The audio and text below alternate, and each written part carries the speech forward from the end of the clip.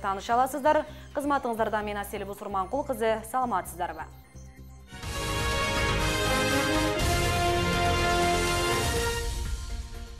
Өлкөнү өнүктүрүүнүн 25 жылдык жол картасы түзүлөт. Муну президент алмазбек атамбаев өлкөнү туруктуу өнүктүрүү боюнча улуттук кеңешинин бешинчи жыйналышында айтты.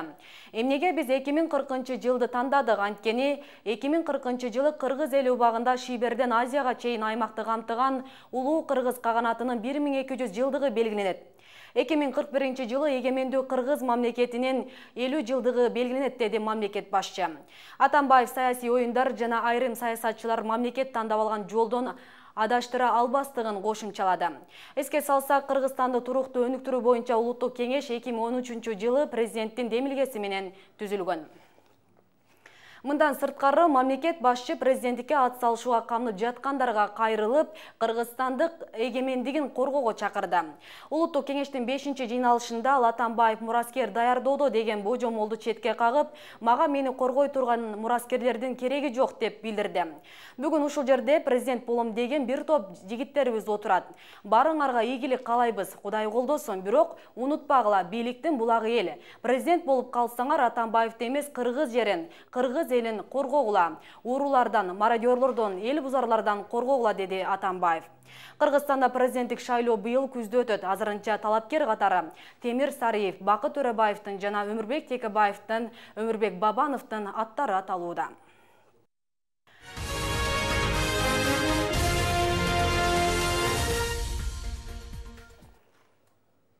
бишкектин биринчи май райондук соту улуттук коопсуздук мамлекеттик комитетинин төрагасы абдил сегизбаев менен президенттик аппараттын маалыматтык саясат бөлүмүнүн жетекчиси алмаз үсөновдун мүлкүн камакка алуу боюнча өтүнүчүн колдогон жок сотко мындай өтүнүч менен ата мекен партиясынын катчылыгы жыйырма сегизинчи мартта кайрылган эле доо арыз укмк төрагасынын партиясынын парламенттеги үч депутаты өмүрбек текебаев алмамбет шыкмаматов жана аида салянованын белиздеги офшордук компанияга тиешеси бар деген сөзү жана ал кабарды президенттик аппараттын маалыматтык саясат бөлүмү журналисттерге тараткан үчүн эл өкүлдөрүнүн ар намысын коргоо максатында берилген арызды кароо он биринчи апрелге белгиленген ош шаарындагы мал союлуучу жайлар менен эт сатуучу дүкөндөрдүн абалы жакшырат.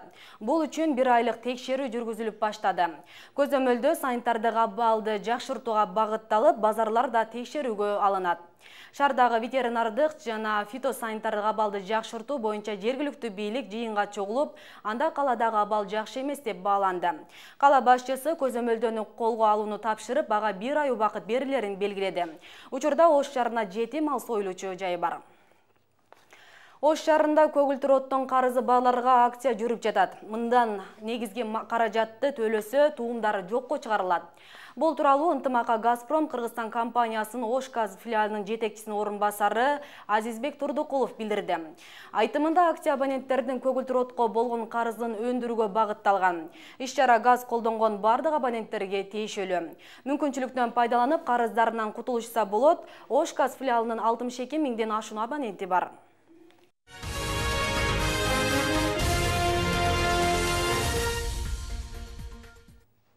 шашылыш билдирүү апта ичи кыргызстанда жаан чачын күтүлөт жана аба температурасы жогорулайт.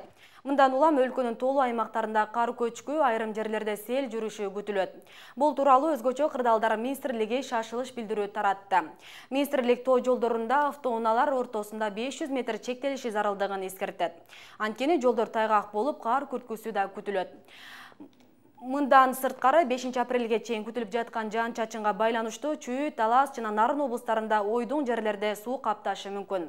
Ушундай эле коркунуч ош жалал абад жана баткен облустарында да сакталуу эми спорт жаңылыктарынан футзал боюнча ош шаарынын жана ош облусунун супер кубогу үчүн беттеш өткөрүлдү.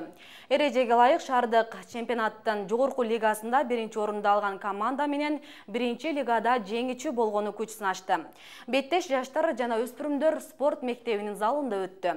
Биринчи жолу уюштурулган супер кубок үчүн беттеште ким жеңүүчү болду кабарчы жолдобай айткулов айтып берет биринчи апрель күнү кичи футбол боюнча он биринчи шаардык чемпионаттын уюштуруучулары тарабынан эки жеңүүчү командага супер кубок оюну өткөрүлдү эске салсак ушул жылкы шаардык чемпионатта жогорку лигада ынтымак медиа групп биринчи лигада бирлешкен командасы жеңүүчү болгон ынтымак менен бирлешкен оюнчулары футбол аянтына чыгып бири бири менен саламдашкандан кийин калыстардын ышкырыгы жаңырып оюн башталды талаада алгач тең кармаш жүрүп жатты ошондой болсо да жогорку лигада топ жүргөн ынтымак футболчулары биринчи болуп эсепти ачты ал голдон аз өтпөй ынтымак оюнчуларынын чабуулдарынын биринде жетинчи номурдагы оюнчусу дагы бир гол жаратып эсепти эки нөлгө жеткирди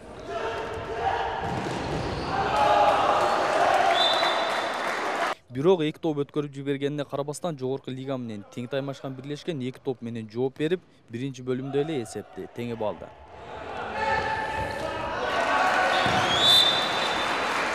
Тынуудан чыккандан кийин ынтымак өз оюнун өзгөртүп жогорку лиганын жеңүүчүсү экенин дагы бир ирет далилдеп бирлешкен дарбазасына биринин артынан экинчи тобун жолдоп жатты.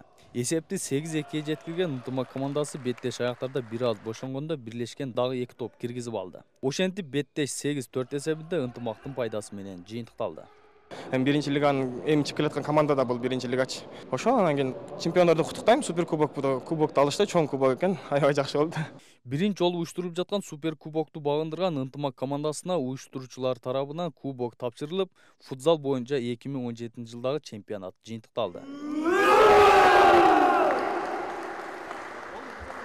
оңой менен финалга чыккан эмес бул серьезный соперниктерден бири эсептелет айтып өтсөк мындай прессинг катары эле оюнду баштаганбыз кылган койгон максаттарыбыз командага койгон максаттарыбыз буюрса балдар жүз процентке актады деп ойлойм да.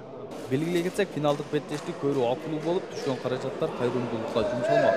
Бүгүнкү оюнда жалпы жети миң сомго жакын каражат чогулуп ал балдар үйүнө берилмей болду. Супер кубоктон башталган бүгүнкү топланган акча элүү сомдон директор спорт зал директору даже берди. Мен да бердим. Калыстар оюнчулар көрдүңүздөр комиссия көрдү. Биз балдардын үйүгө поддержка берип турабыз. Эскерте өтсөк шаардык чемпионатта жана супер кубокто жеңүүчү болгон групп командасы кыргызстан супер лигасына ойноого укук алды. Жолдубай айткулов азам бузуриков ынтымак. Мына ушуну менен кабарлардын күнүзгү чыгарылышы жыйынтыкталат ушул жана башка жаңылыктар биздин сайтка да жайгаштырылды ынтымак чекитке эже сайты андан кыргыз орус өзбек тилдеринде маалыматтар менен таанышалы